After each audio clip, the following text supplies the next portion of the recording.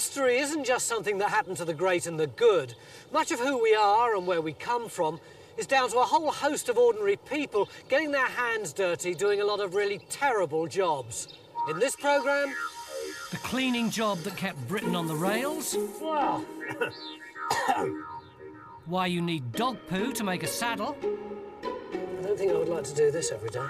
And what on earth was I Yeah. thinking of when I said yes to this? Welcome to the worst jobs in the Victorian period.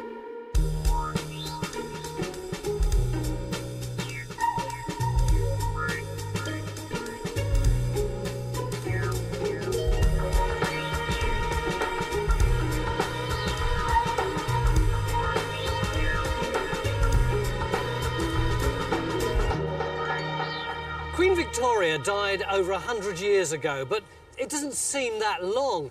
And that's partly because the Victorian workers laid the groundwork for a lot of the things we take for granted. Many of us still live in their houses and use the schools and hospitals and other public buildings that they put up.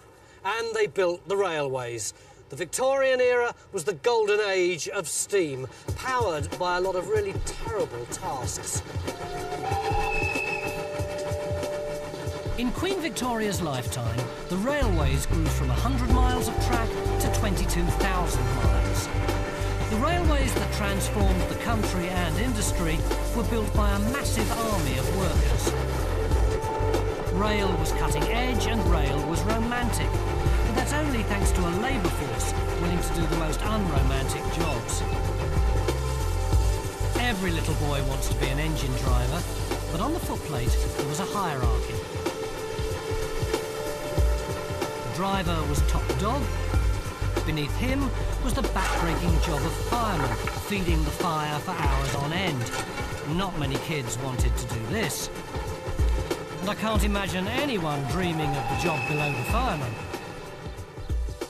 The very worst job on the railway was the engine cleaner. But that didn't mean just a tiny bit of spit and polish. This was a job for which you had to get really kitted up. This one's pretty cold, isn't it? Yeah, well, I can only show you what on the cold one because uh, what you're going to have to do now, Tony, is actually get inside the firebox. Uh, Get in that? get in there, yeah. Off you go. Right, hands on here. Hands on there. Feet in. Feet in here. Yeah, put, but you get your thighs in the hole, and then turn yourself over in the hole. Your, your hands are now touching the floor, Yeah. and then just ease yourself in. turn round. Yes, you can. There we go. You're right. Oh. Right in. Oh. You put, should touch touch the fire bars with your feet. Yeah, I can feel it. Okay, you're in. Yeah, I got it. I can't get it. There we go. There we go. Now I'll pass in the, the shovel now. Yeah. I can't see a thing. You have to feel your way round. Yeah. There's your shovel. You know what I've realised? If you're going from London to, I don't know, Glasgow, you'd be shifting tons and tons of this stuff. Oh yeah, you? you, you shovel about five or six tons of coal. You don't have to be fit, you know. Oh, blimey. You can't get all that much on it, can you? Because otherwise it just all tips back on you. No, it's right, it's very awkward. Righto, eh? they've got nice clean fire bars now to light the fire on. I'll tell you what, that is one really disgusting job. Enjoyed that, did you? Oh, terrific. How the hell do I get out? Well, you've got to do a reverse of what you did to get in. You've got to, to you got to turn round and grab that oil tray. Or just crawl out. Enjoy that, are you? What's next? Show you. After being in this hole, I was happy to get a breath of fresh air, but not for long. I should have known better and stayed inside. So we're going right under one of these locomotives. We're going right under now to clean out the ash pan. Well, it's And, uh, pretty messy down here, yeah, isn't it? yeah, it's, it's a very wet and oily and uh, nasty, dirty. Well, the lads have been down here all day. Yeah, that, so there would have been people on a shift system in a big depot, and that would be your job all day long, disposing the engines, which would consist of digging out the fire like we've just done, Yeah. and doing the ash pan like I'm going to show you now. Uh, you know, as rotten jobs go, it must uh, really qualify for one of the one of the worst, if not the worst. It could be pouring with rain, or it could be freezing cold. Very likely, in the middle of the night. And this is all you do all day. And uh, the tool I've got in my hand is the ashpan rake. Yeah. So what you have to do is to put your ashpan rake right inside here and uh, and pull. It's very dusty. Ah.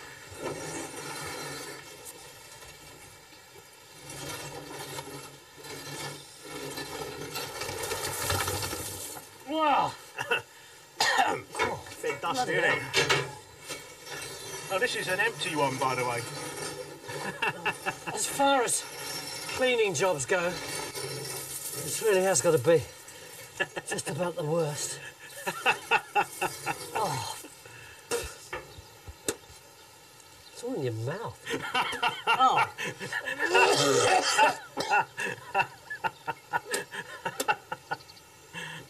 long before all this lot, though, long before anyone could even dream of getting a good job like this, someone had to lay these. And that end of the business really was hard work.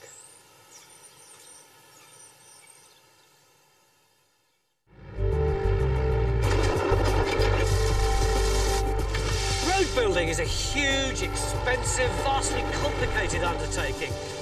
Nowadays they've got machinery to do all the heavy lifting, vans to sit in if it tips down, even toilets for God's sake. In Victorian times, they had to do it all by hand. These men did the hard work. Navvies, so called because they built the navigation canals. They were a wandering army of itinerant labourers. Quarter of a million of them built the backbone of Victorian Britain the roads, the canals, docks, and sewers. And they built the railways. They lived in shanty towns on the job, on a ration of beer and meat, two pounds of meat and a gallon of beer a day. After work, they drank some more. And their job was to dig. So you think digging's easy? What about something like this? It's the size of your average back garden and about four metres deep. Imagine digging this by hand.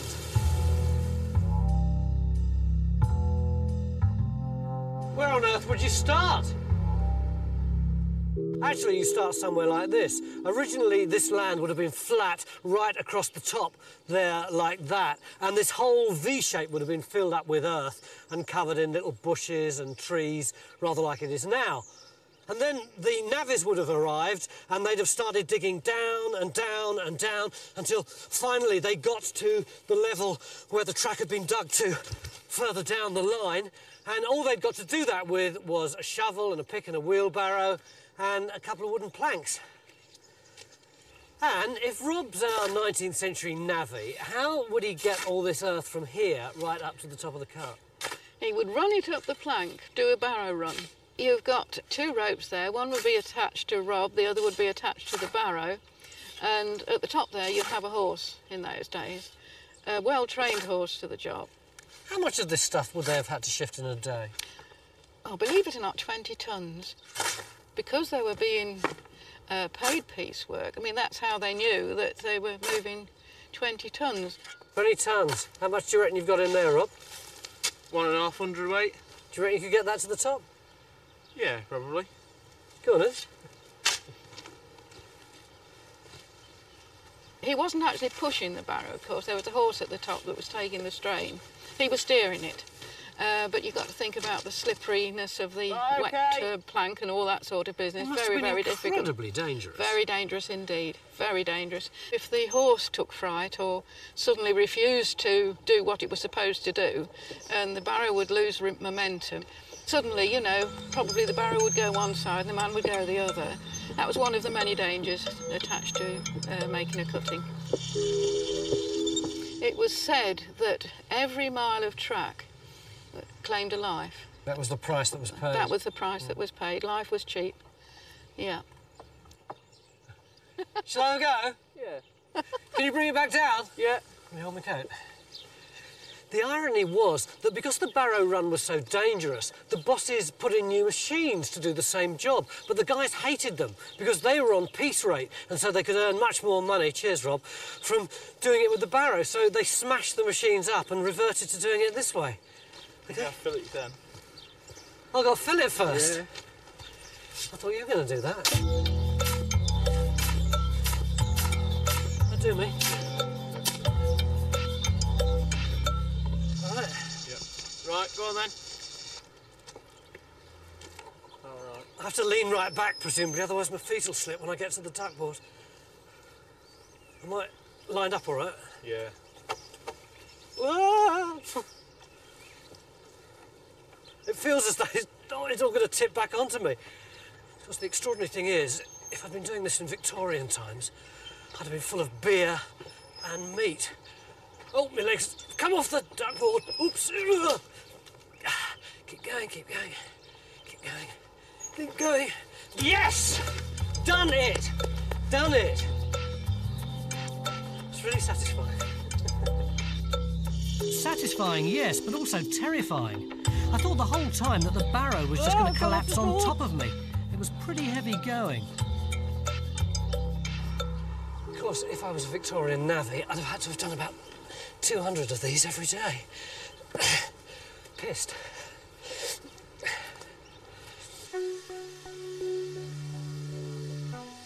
Okay, so the tracks are down, the job's done. Well, no, actually. Navvies queued up for the barrow run. No one wanted to pack the ballast. What's the ballast actually for?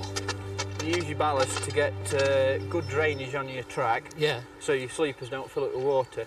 And obviously, the more ballast you've got, the more stable the track is. Obviously, when you drive a train over it, the track tends to move around, and uh, if you've not got much ballast, then you end up with an uneven track eventually. It's not a very uh, difficult job, is it? By the time you've done, you're going to end up with it level between sleepers, Yeah. and you'll have shoveled a ton and a half of ballast.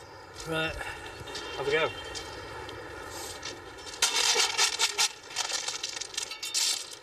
My little pile here is just a mingy half a ton.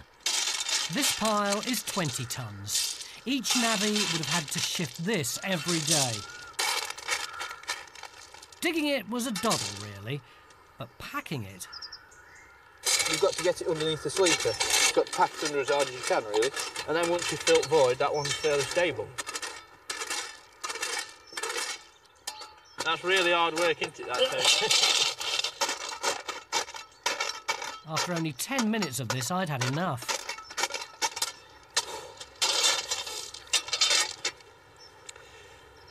I was going to say something like presenters are supposed to, but my mind's gone numb. I've only done half a sleeper.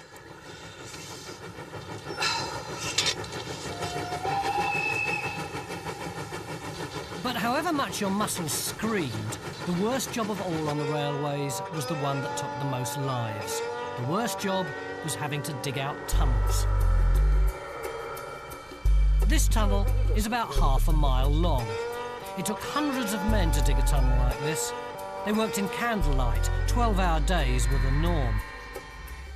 Accidents were common. A combination of naked flames and dynamite was often lethal. There was one particular explosion on the Manchester to Sheffield um, stretch, and uh, 50 men were killed and 500 injured. So what happened if someone was injured?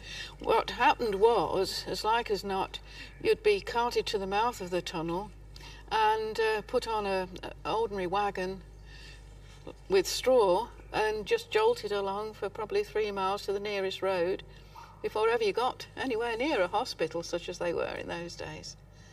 It was an unimaginable torture for the injured man just to be taken to the nearest hospital. In 1840, in the Woodhead Tunnel in Cheshire, 32 men were killed, 140 seriously injured, two had fractured skulls, and 500 others suffered broken bones. It's hard to imagine, isn't it, what an explosion would have been like in a tunnel like this? I don't think we can imagine it, Tony. Well, we can't imagine it, but uh, we can recreate it. We can't do the, the panic and the terror and the feeling of isolation, but uh, we can recreate the explosion. Although this being the 21st century, we've got a special effects man way over there, and we've got uh, a second camera and loads of lighting. We've got ear defenders, fire extinguishers, electrician. The police have been informed. We've got the man from the Parks Authority keeping an eye on us all. In fact, We've got all the paraphernalia of a 21st century risk assessment form. Go! It is pretty terrifying, isn't it? It's brilliant. I could feel it. I could feel it. You actually get the shake as mm, much as the yeah. noise, don't you? That's what I meant. I felt it. Tremendous. A jolly good bang there, you've got to admit.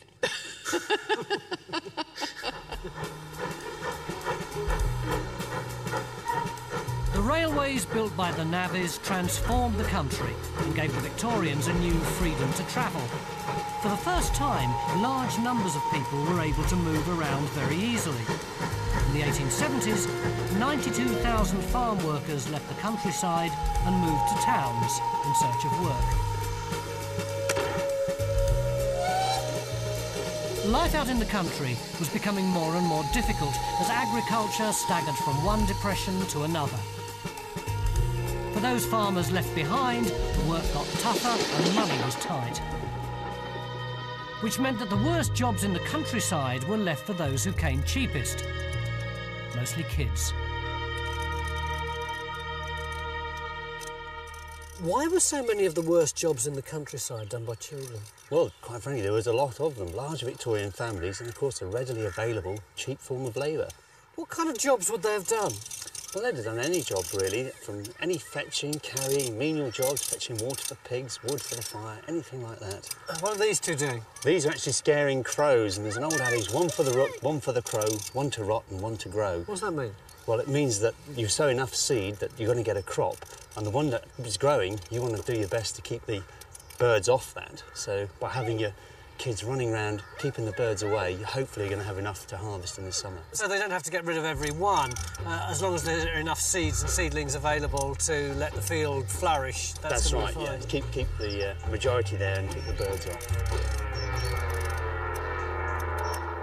Well, this looks like a worse job for me. What's this? Well, yes, this is dibbing or dibbling. So we're going to take these dibbers, Yeah.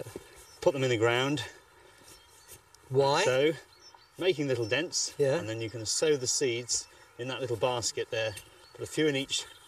what, like hole. sort of nine or ten? That'll do, Yeah. and we'll just keep going like that Yeah. until we sow nice even rows. Oh, your back would go quickly doing too much of this, wouldn't it? It certainly would. Who would have done it?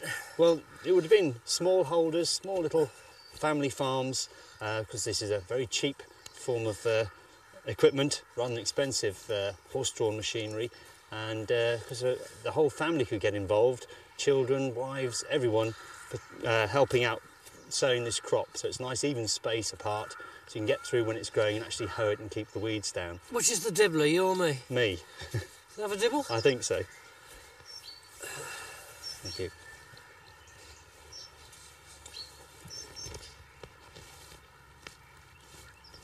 Oh, I like being the dibbler.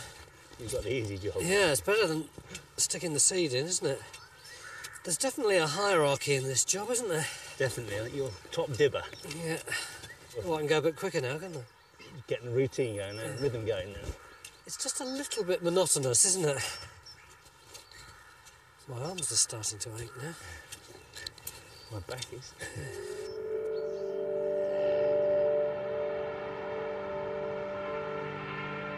If you've ever complained about your job being boring, forget it.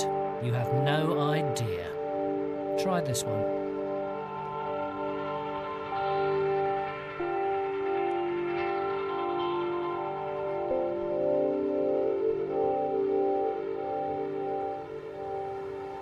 Actually, I am hard at work here. I know it doesn't look like it, but I am a herring caller.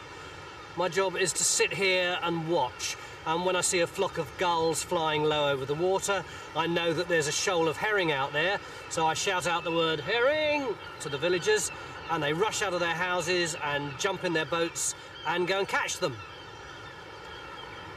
But it can take quite a while.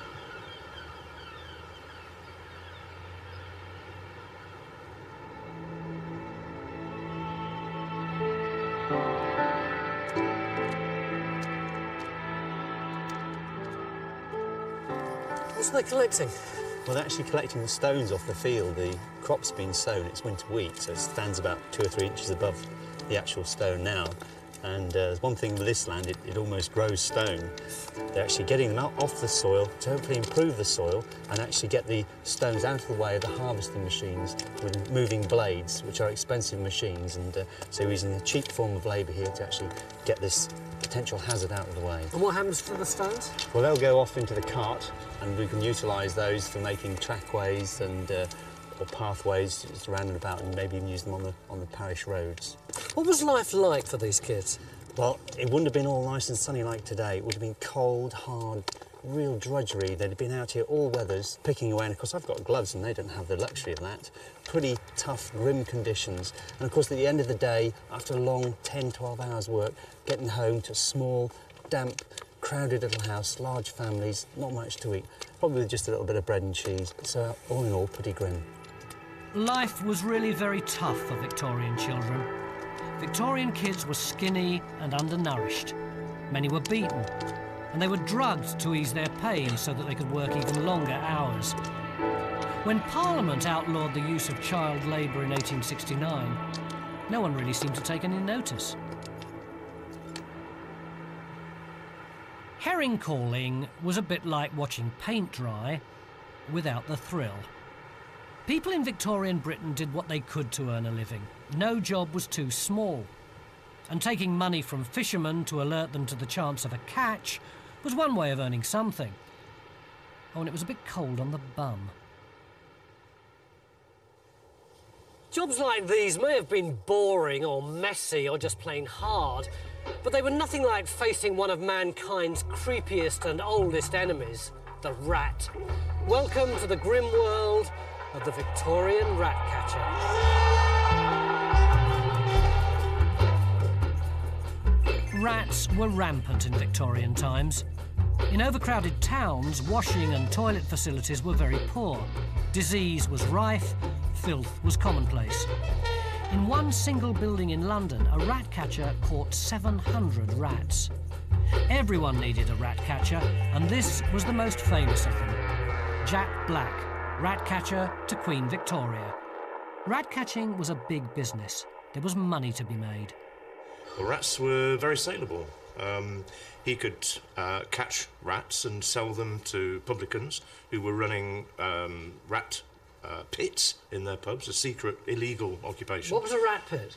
A rat pit is where they pitched the rats against dogs, probably terriers, and they had a fight and people betted on them. That can't have been much of a market, can it? Well, one publican in Enfield was buying 500 rats a week. That's 26,000 a year at threepence a head, so you can work it out for yourself. Presumably they had rat poison in those days, then. Yes, rat catchers used to make their own poisons. Secret recipe. Here's an example. Now, a rat um, catcher would go to a marketplace uh, with his poison to sell to the general public because rats were such a problem then as they are now. And he might have a cage with many, many rats in, and to demonstrate the efficacy of his poison, he'd take a live rat out of his cage, give it the poison, and there you go. Killing rats using poison was easy. What made this one of the worst jobs of the age was when they had to catch them live. They did it by hand. Rat catchers attracted the rats by rubbing a mixture of sweet smelling oils on their hands. This worked, but rats bite. A lot. Rat catchers often caught terrible infections. You'd need to be an idiot to put your hand blindly in a hole after a rat, wouldn't you? Smell like an old-fashioned boiled sweet.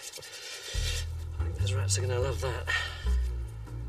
The problem is, half the time you don't know whether you can hear something rustling or whether it's just you leaning on the. You hear that? That is that. That is definitely something live. It Seemed like a good idea at the time, but quite honestly, when you just stick your defenceless hand in here and you've no idea, I don't think there's anything here, what's going to be on the other end, it is a little bit scary. There's been no noise in here at all for the last two or three minutes. That's my hand, not, not a rat. Oh, I've got something. I've got something furry, definitely. And it's wiggling, it's horrible. I don't know. I actually don't want to hurt it, but I suppose that wasn't really the issue for. Oh, there it is. There it is. Oh, I thought it was going to bite me then. So, what do you think now, Tony? Well, it's kind of cute, isn't it? But uh, it's also fairly disgusting. I don't think I would like to do this every day. Shall I take it? Yeah. Ugh.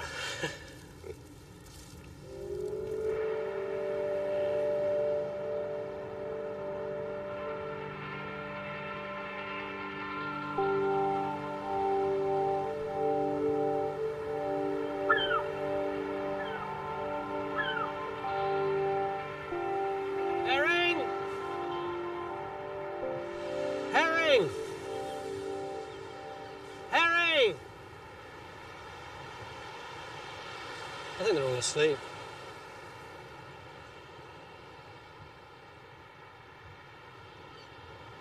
An anchovy!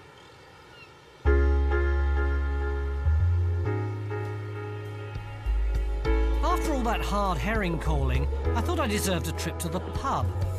But for some Victorian workers, that didn't mean a relaxing drink.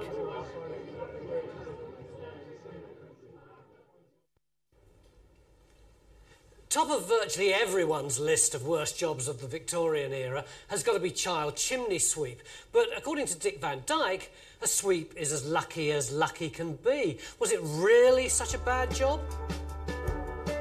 Sending little boys up chimneys was actually made illegal in 1840. 24 years later, the Act had to be strengthened because people just ignored it. Leslie, did they really put little children as young as Daniel up the chimney? I'm afraid they did. Children even younger than Daniel. I know that Daniel's eight, and children of six and seven were sent up the chimneys. Why? Why didn't they just shove big brushes up? And there were lots of very poor children around who'd got stunted growth from bad nutrition, and they were very, very slim, and they were very, very agile and could handle a little brush like that superbly for sweeping down the soot. Right, you scruffy little urchin, get up that chimney.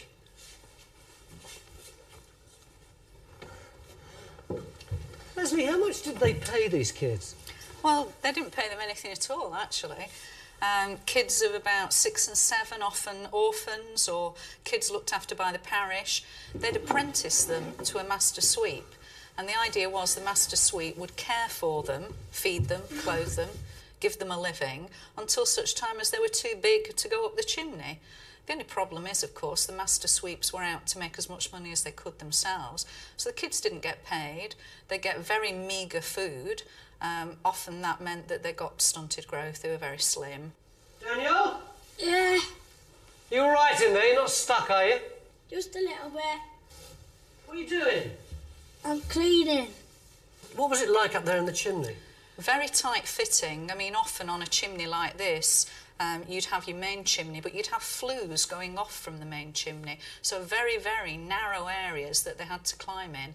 Suppose you were in there for about three hours and there was loads of chimney soot and stuff. I would cough a lot and get squashed by the space because we're in this tight space. Kids did get stuck. Kids died of respiratory problems, and sometimes they got stuck in there and nobody could get them out. So it was a very tragic life. Do you want to come out? Yeah, All right, finish your cleaning, then you can come. okay.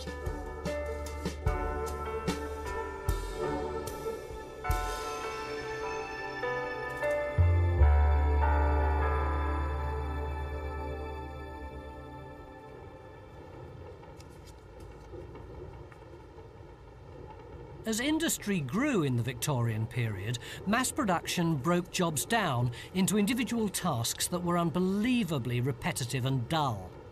Label sticking was the Mount Everest of dull. This was as good as it got for a lot of people. There was nowhere else to go. This is a very boring job. But ironically, one of the great men of the age started off here. Charles Dickens was a label sticker as a lad, before going on to write the novels which give us our clearest pictures of the age.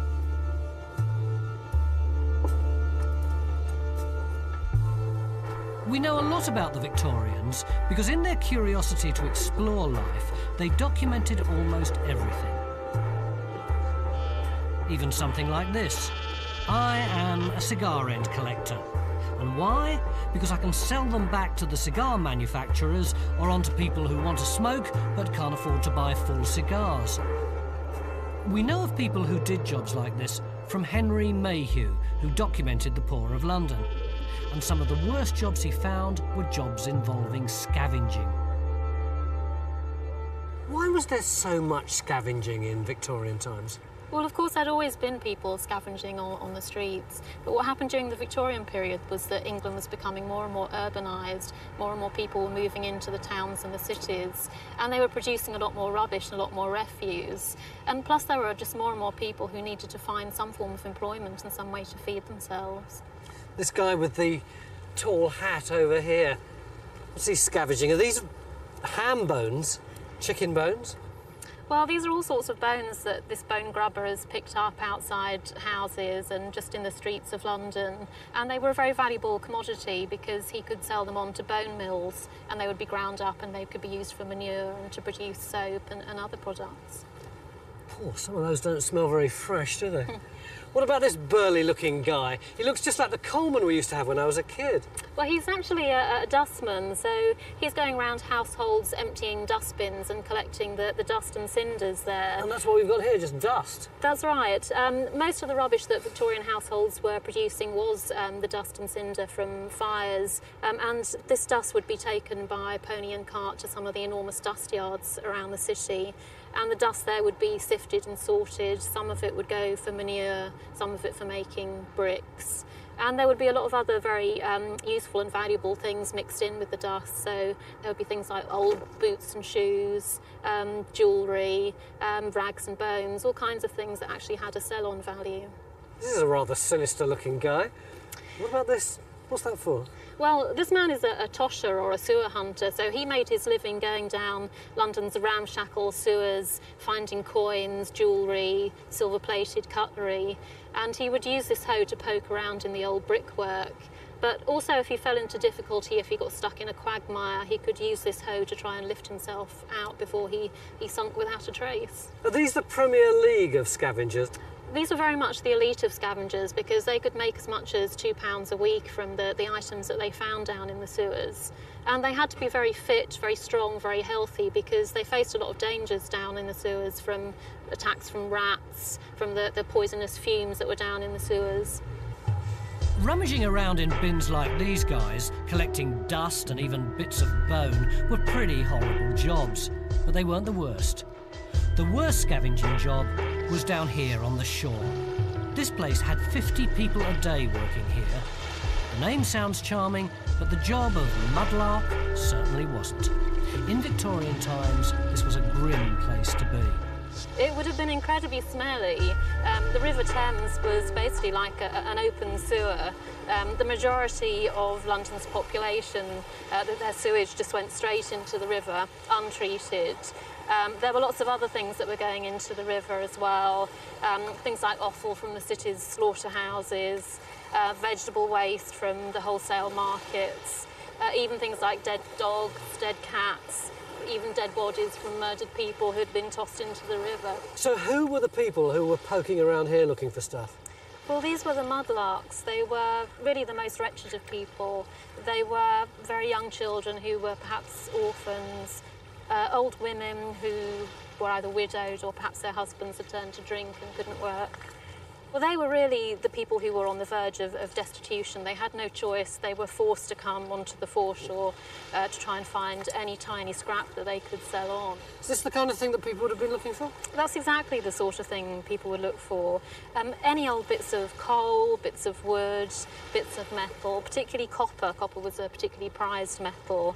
And things like rags and bones and old bits of rope. Well, they can't have made much money.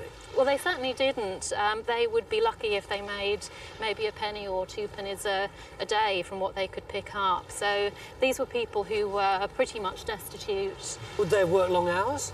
They could only work at low tide, so that was only for about an hour and a half every day. So not only were they working in the most stinking place and making no money, but they didn't even have decent hours to try and make a bit more. That's right.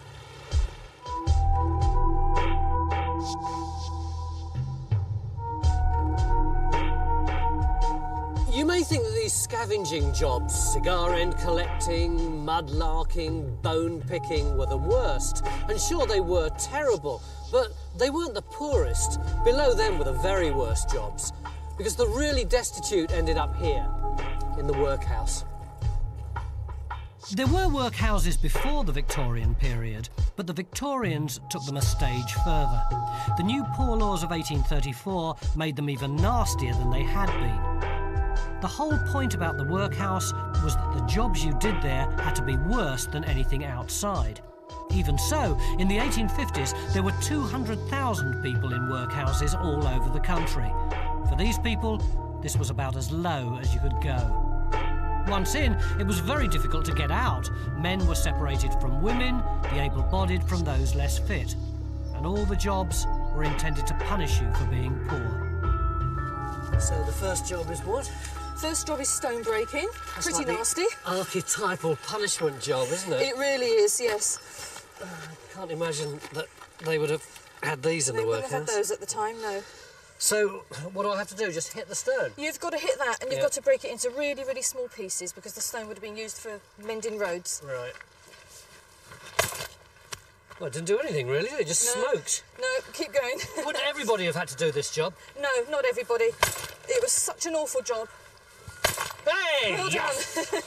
that only the casuals and tramps were were given that. Oh, I can understand that. They wouldn't want it to stay very long, would they? No. Oh. They would have done this for a day. A Day? Yep, just for one day's work. And what would they get for having done it? Well, they'd get uh, a bed for the night Yeah. and a meal. Whew. They small enough? You need to get them all about this size Why is that? because you've got to pass them through a mesh in the wall, a metal mesh in the wall of the stone breaking cell. Why is that? They've got to be small enough to be able to use in road building. And if they didn't, if you couldn't get them through the mesh, then you had to break it again. So, I've got to get all this lot that size. Yeah. Right.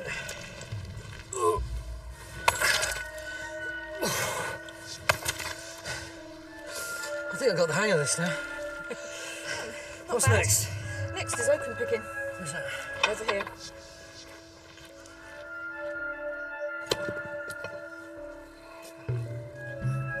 What's oakum, Des, and how do you pick it? Well, to start with, you've got a bit of rope or cable that you then have to break up right the way down. This is a piece of rope, and you're breaking it down into the strands. Yeah. And then, having got the strand, you break it right down into the yarn, and then you've got to break that yarn down into the actual fibres of the hemp. And So, this- what's the oakum? this the oakum is the raw fibre. It's sort of the unmaking of the old rope. And what's the point of it? What happens to this? because then it goes back to the shipyards and to the, the, the vessels where it's rolled together to form a thin sausage that is then banged into the the joints in the, in the in the planking to stop it leaking. Who are the people who did this? Well, able-bodied inmates in the workhouse that have been uh, given this job to do, but their fingers just used to bleed at the end of a couple of hours of doing this. When you first start doing this, it seems pretty easy. It's uh, money for old rope. But the more that you have to get your fingers into these tiny, clagged up little threads, the harder it gets. And it, it just it cuts in to your fingers and, and your thumbs. And a bit like that, which looks like you could do in no time at all, by the time you've pulled it out into its constituent parts, there's just loads and loads and loads of it. And if you'd have been having to produce pounds of this stuff a day, you'd have had to be going for hour after hour. I suppose the thing about this job is that if you were in a workhouse, you had to do it. Yes, you did. Yes, you had to do whatever jobs they gave you. You had no choice in the matter. So, in a way, however awful some of the other jobs were, at least it was your choice. But here they took away your dignity. They did indeed, yeah. And some of the jobs that they had to do were so bad, like this. This was given to workhouse inmates to do, but they didn't necessarily give it to prisoners in countries' jails to do. You're not picking very fast. I was thinking. It's just no room for thinking. You don't come to the workhouse to think. You come to the workhouse to work. Yeah.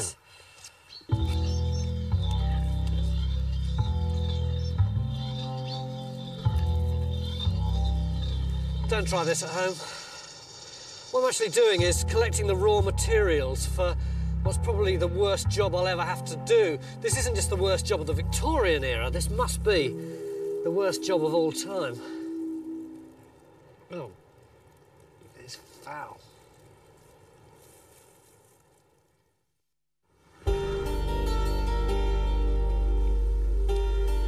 Horses were a key part of Victorian life for carriages, for heavy lifting, for travelling, for work, for pleasure, you name it. But wherever you've got horses, you've got lots of bits and pieces bags, saddles, stirrups, and they've all got one thing in common leather. The problem with leather is that it took a long time to make and was a messy process. Beautiful polished leather like this used on these horses took 15 months' work by a whole factory worth of people working in pretty grim conditions.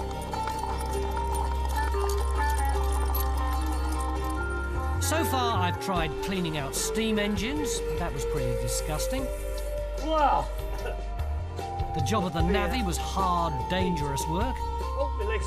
Come off the duckboard. Oh, oops. And the scavenging jobs really were horrible, though at least they kept you out of the workhouse. But There's one worse job that's head and shoulders worse than any other job in Victorian times. A job so bad that if you wanted to do it, you had to live and work apart from everyone else in the village. The job of being a tanner. And I don't mean working in a beauty salon.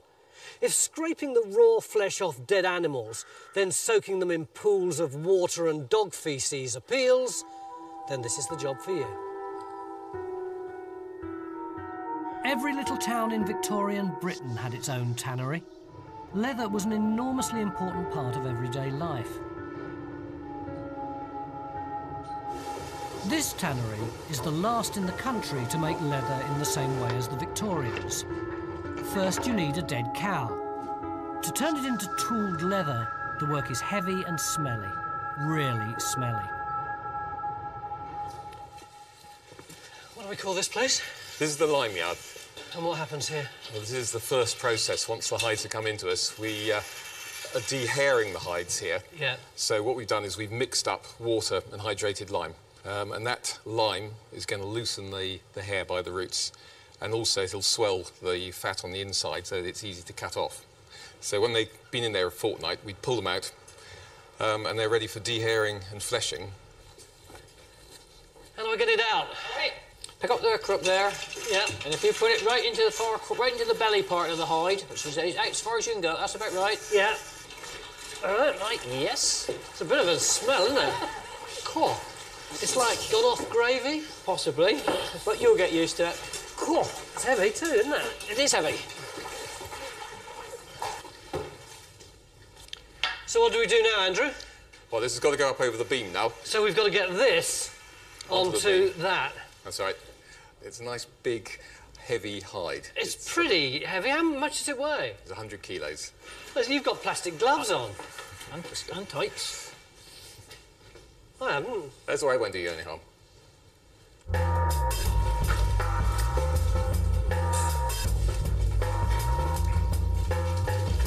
Oh, it's all skidding under my fingers. You get that corner there, Yeah. Roger. We pull it up. Oh, look, it's all bits of hair coming away in your hands all the time. Okay. So now we have to get the hair off. Yes, now you have to work it down with a dehairing tool. It's all yours. Thank you.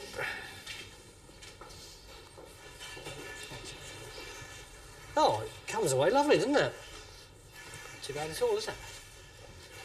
You know, I think I'm even getting used to the smell now. You will get used to it after a while. Do you even notice it? I don't, but my wife do when I get home night times. Oh, I'm surprised, mate. I'm surprised she's still there. How many of these would they have been doing a day, Andrew? Well, it depends. A good man would do 15 to 20. So this was pretty heavy work, wasn't it? Yes, I mean, this is the heaviest work that there was in the lime yard. It was always the least popular job, lime yard work. Funny that. How's that looking, Andrew? Now let's have a look, see how you're getting on. Yep, you're leaving a few short hairs here. You've got to get these all these hairs out, as I say, because once um, it goes into the tan yard, the hair won't come out. This was a bit gross, but the swollen fatty bit on the inside took us into a whole new league. And I'm talking Premier, not Nationwide Conference. Now, you want to keep the, the blade flat Yeah. to the hide because it's on an angle anyway. The blade gets clogged up with the fat, doesn't it? Yeah. Just keep, keep clearing it off all the time. It's very sharp, mine, so watch your fingers. Okay. Alright, let's have. You're welcome. It's hard to keep the blade in your hands because it's so wet and sticky down Mm. here that uh, Yeah. it keeps trying to run away from you, doesn't it?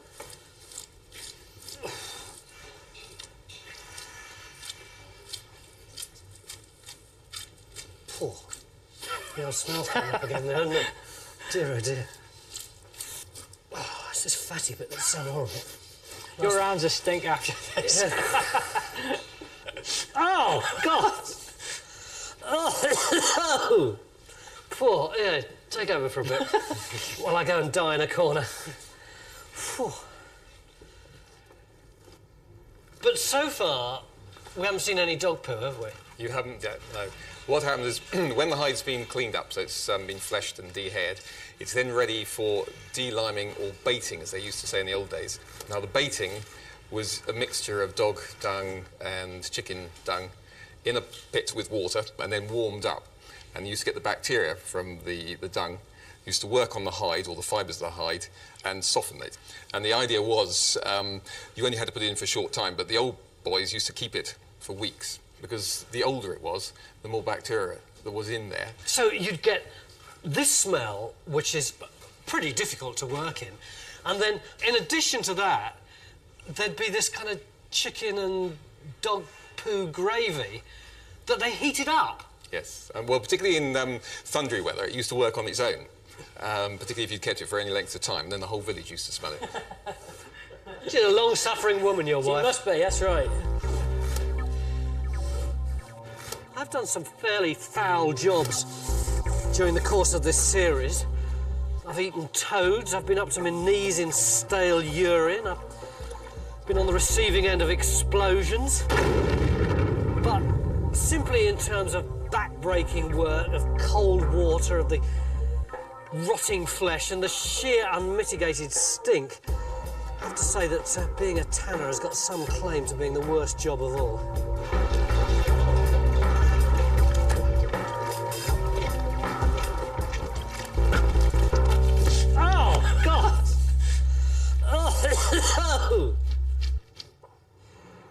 Think of history, we tend to think of places like this, and the kings and the queens, and the great discoveries and the big battles. But without the tanner and the fuller, and the men who looked after the knights and kept their armour shining, and the loblolly boys and the saltpetre men and the grooms of the stool, none of this would have happened. We owe them a lot. The people who did some of the worst jobs in history shaped the world in which we live.